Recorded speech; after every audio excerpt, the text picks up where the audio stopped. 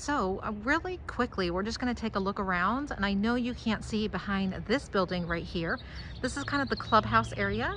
They do have an, e, an exercise area and behind this building is the pool. And they also have kind of a exercise and clubhouse area. And so let's go ahead and go inside to this townhome. It is three stories high. And as we go inside, it is a 1,273 square foot home with two bedrooms, two and a half baths. So obviously not everything that you see inside of model homes is going to be what you get, but inside of this one, they have a great feature wall right here and they offer a closet downstairs for jackets and such.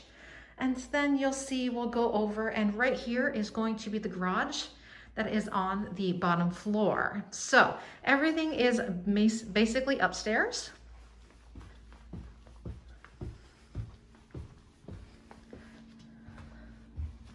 So we get to the first landing right here and although the lights are out, sorry about that folks, the um, there is a half bath on this level right here for the main level. And so you do have to go up two stairs to the main level. And there we reach the great room. Let's take a really quick tour here. The kitchen, the dining area, and then the main living area. So let's go ahead and start over at the kitchen. It has a large island here. So we call this the breakfast dining area here with these stool chairs. They're actually chairs. Usually you see stools, but they have three. Totally can fit four here. Easily, easily. So if you notice on the tiles here, so yes, this is a, a model home. It does have a little bit dirty floor. People are walking through here. Um, you'll see that they offer GE styled stainless steel here. They do have subway white tiles with gray grout here, which matches really well with the cabinetry. And you'll notice that the cabinetry will be the same throughout the home. The uh, hood and the gas range by GE. And again, I know I really like these gray with the combination of the tiles and the man-made countertops in just the classic white color stainless steel dishwashers, and I like how they have matching even to the sink. And one thing I've noticed that a lot of homes are having these days, rather because this is the um, garbage disposal, so you don't have to like find a switch somewhere, it's right there. So they do have a built-in microwave and then a small pantry area here for everything. But you know what, even though it seems like it's kind of small, there's a lot of cabinets in this kitchen right here. So after going through the kitchen, and I actually really have to point out these really cute lights here over the breakfast area. Here we have the dining area and it is right off of the deck over here. Yep, the deck is probably suitable for two chairs or so. Has some beautiful morning. It's about 10.30 this morning. It has some great morning light. And then we're gonna go over into the main living area. This is where I would imagine that most people are, just kind of resting, watching TV, hanging out. And so you can see from the living area right over to the kitchen. So if you're standing at the sink and you're wanting to watch TV, you probably aren't gonna see the TV, but you'll hear it. But I still like it because it just seems like you're in the same room with everybody. And I love that about these new style of homes. So now let's go upstairs to the two bedrooms.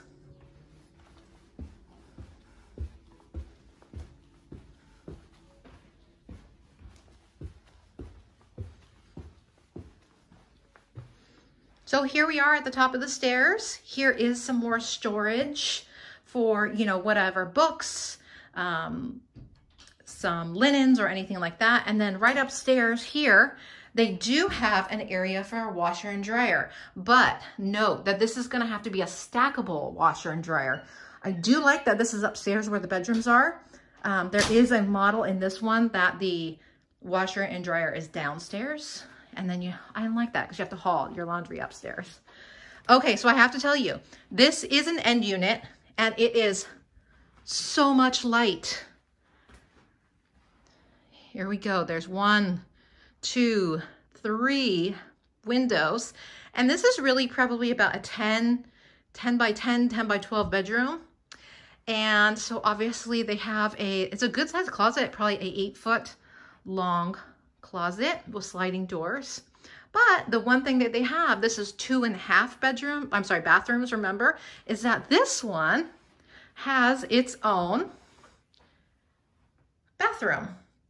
It is a tub, a shower over tub, and there is a place to store your things and get ready. I like that. So it's almost like a little mini suite. It is a little bit smaller bedroom, but on the same token, you have your own bedroom up here. I'm sorry, your bathroom. And here we're gonna go into the master bedroom. It does have this feature wall. I've noticed that in a lot of the master bedrooms, they have this feature wall behind the bedroom.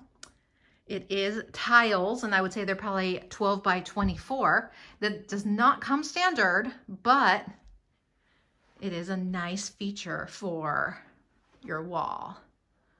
So here we go. Here is the master bedroom. I would say it's probably one of the smaller master bedrooms. It's probably about 14 by 12, maybe 16 by 12. But if we go ahead and we turn around, that's the hallway where we came in. Here is the bathroom. And it does have dual vanity, and I do like that for when you're trying to get ready. You have two separate areas. Matching cabinetry again. The same tiles pretty much throughout when there's tiles. And this one does have a standing shower. And the Corian that's here is the same that is on the countertops here. Let's go ahead and go over into the master closet. It is a good size closet. It's definitely good, you know, good enough for his and hers. This is a smaller model within this community. And then again, here we go. Here's the water closet. They don't have the door on. There will be a door there when you buy one of these model homes. The one thing that I was thinking is that if you wanted a bath in the master or you just wanted to take a bath, you are going to have to go over to this bedroom across the hall to use the bathtub. That's the downfall that I can see. But this one has the washer and dryer upstairs. Hey, thanks for touring this townhome with me today. It's a two bedroom, two and a half bath vertical townhouse. So if you'd like to see this home or any home within the San Francisco Bay Area that is a new build or in a new community, please feel free to call me or text me and I would love to be able to help you. If you'd like more information about where to find new homes in the San Francisco Bay Area or you're thinking about a new home, be sure to click this link for more information on new homes, go to www.youreastbayliving.com where you can search for new homes and you can also download a guide for 10 reasons to buy new home construction. I'm Casey Serafino Lee. I live in the East Bay, I work in the East Bay, and I love the East Bay, and I want you to love where you live also. See you on the next one.